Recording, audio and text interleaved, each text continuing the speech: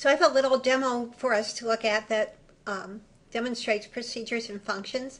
Does something a little more interesting than adding two numbers. And um, this is posted for you. It's called the fitness calculator. Okay, so first of all, let's look at what it does. You enter your statistics. So let's say you're 64 inches tall and you weigh a fairly regrettable amount. And um, let's see, too awfully old, and a resting heart rate. And this tells you your body mass index. It tells you whether or not it's in normal range. It tells you your training heart rate, and it gives you some fitness advice. Okay, so let's um, take a look at the code. So if we come over to Developer and Visual Basic, um, it's in the form the code for the form. And um, here's our picture of the form, and let's view the code. Okay, so um, this thing does its work using some formulas that I got from a book, and um, they use these constants, which I just defined in the program. And what I really want to show you, though, is here's the main program. So it does three steps. It computes the body mass index by calling a function. It computes the training heart rate also by calling a function. And then it prints the results, this time by calling a subroutine. So the point here is I could have written this program as one whole sub-procedure um, in the button results procedure. But I didn't want to do that. I wanted to make it clear and divide it up into reasonable steps.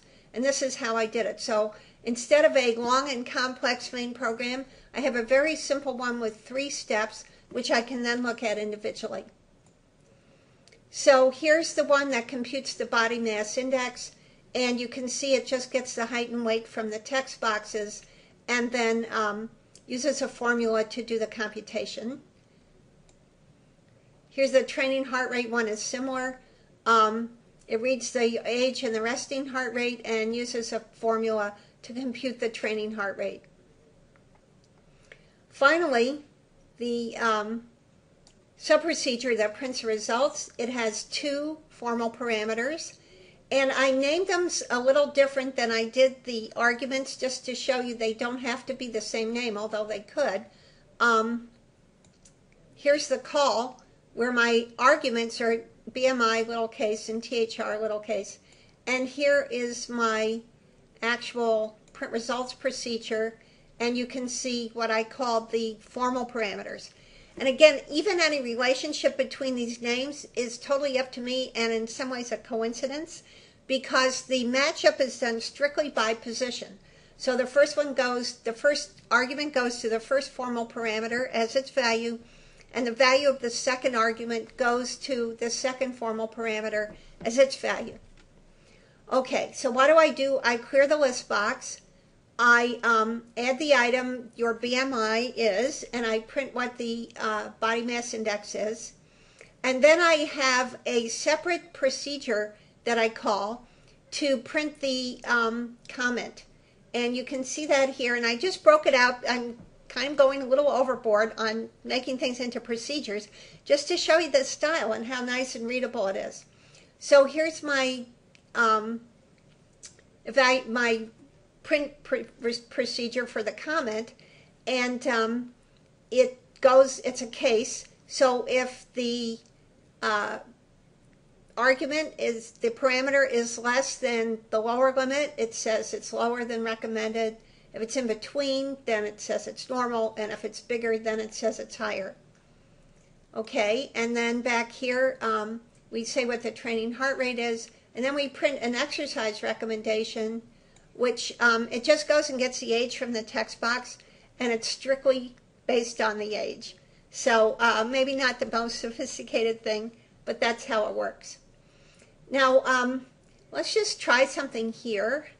I'm going to go under debug and use step into the F8.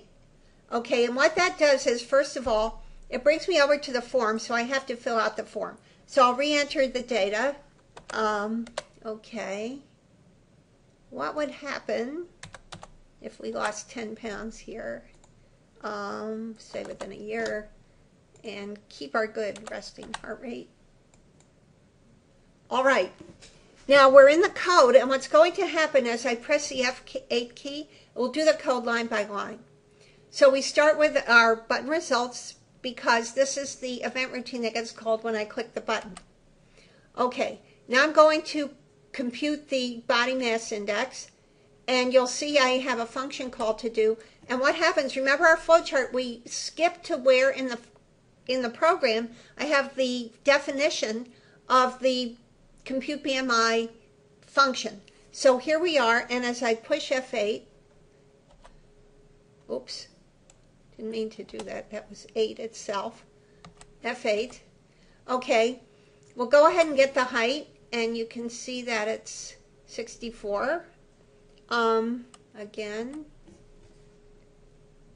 129, um, okay, and here I'm doing the computation, and now you can see I've got the value 22. And let's keep going. And now we're back. Okay, so we finished this. This guy now has its value 22, which it got from the function call. This guy is still zero because I haven't done this function call yet. I'm getting ready to do it. So now when I push F8, I'll go to where that definition is. Voila. Okay, so here we go. It's reading from the text box. It's reading the age, it's computing stuff, and we're finished. Okay, and you can see that this has its value. And now let's go um, F8, and we're back. And now you can see this one has its value. This is 22, and this is 116. And those are the values that are getting passed, the arguments, to print results. So now when I push F8, we're going to go down to print results. And if I look, this guy is 22 and this guy is 116, as they should be by their position. Okay, so let's keep going. We'll clear the list box, add the first item, and now we're calling print BMI eval, so we'll come down here. Okay, um, and you can see we passed this 22 in as a parameter. Um, okay, we're looking for our case. It should be this one, yes. So you can see it's chosen this case and it's doing that. All right, we're then after one case is done, you're done with your select case. That's the end of this subroutine and we're back at the line after the subroutine call. Okay, now we're going to do the next um, add item. We're call and we're going to call a final subroutine print exercise rec, and this one has no arguments. Okay, so here it is. Um, we get the age from the text box. We're doing another select case, so we go through and um, we're in this range. So we're going to do this recommendation and, and, and, and we're back. Now this finishes print results and where do we go now? Back to the main routine, the event routine, which we started with. And now we've finished this guy. We're at the very end. And if I push F8 one more time, we're done. Okay, so that shows you step by step what happens when you execute these subroutines and functions.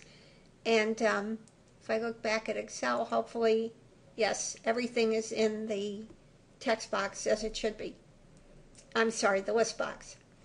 Okay, so uh, you should play around with this and um, make use of that F8 key. It's good for debugging and it's also good for stepping through a program and seeing exactly how it's working. So that's a good tool to have in your toolbox.